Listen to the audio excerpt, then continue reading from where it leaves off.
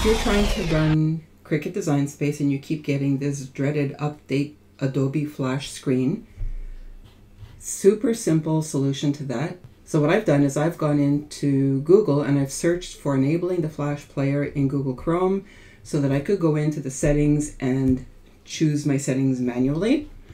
And it tells you here, when you click here, to type this address in your address bar. So I'm selecting this.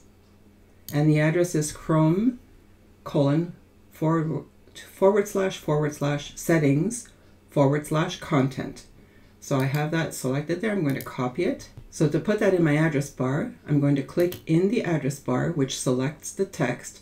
I'm going to right click and I'm going to choose paste and go because that will paste the text into the address bar and then take me to the site. So that takes me here and it shows me my content settings.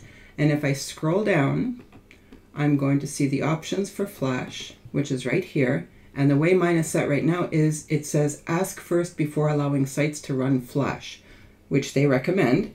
But I want it to run automatically so I don't have to go through this. So I'm going to choose this option here, allow sites to run Flash, and then I'm clicking done. And now when I go back to Design Space and it updates, everything is fine and I can do whatever I want to do. So I hope this has been helpful to you. Thanks so much for watching.